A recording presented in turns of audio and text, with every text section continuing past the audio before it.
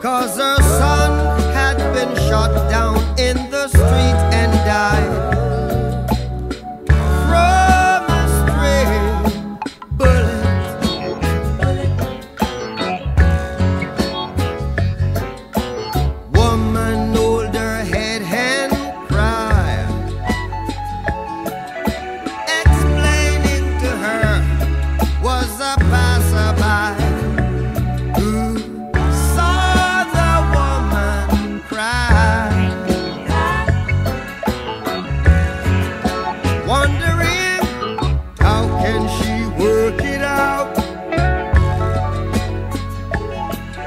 she knows.